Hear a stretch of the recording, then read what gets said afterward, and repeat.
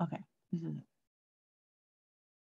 Laying low. Many animals hide to avoid being noticed. Turn over a stone or stir a pile of leaves to reveal a world of hidden creatures. A worm squirming in the sudden burst of light, a rolled up pill bug, a centipede quickly scurrying out of sight, tiny springtails, and even tinier mites.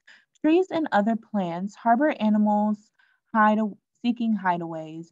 Insects hide under leaves, along stems, and under scraps of bark. Pale trails winding through a leaf show where the larvae or, or lung young of various moths and beetles are, are feeding safely between the leaf layers.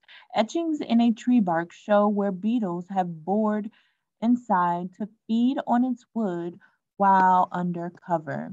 Many insects even alter plants to create places to hide. Some caterpillars roll up leaves and seal them shut with sticky silk. Weaver ants seal leaves together with silk made by their larvae, which the adult ants use as if they were glue sticks. Some insects, including species of aphids, midges, and wasps, spur plants to grow protective cases these cases, called galls, are hard knobs with spongy interiors. As larvae feed on the plants, their saliva induces the growth of these galls. Larger animals also take advantage of the safe shelter provided by plants, rocks, and other parts of their habitat. Birds hide their nests amid grasses, tuck them among branches, bury them deep inside burrows, and conceal them in tree holes. Staying hidden for many hours is not necessary for an animal that can get to a hiding place quickly. Many small rodents feed close to their burrows so they can dive into them at the first glimpse of a hawk overhead.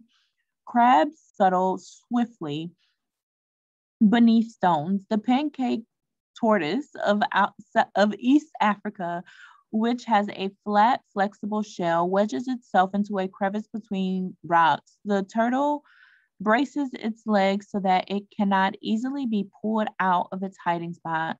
The chuckwalla, a lizard that lives in the southwestern United States, also darts into crevices. Then it inflates its lungs with air so that its body swells up, hedging it in place.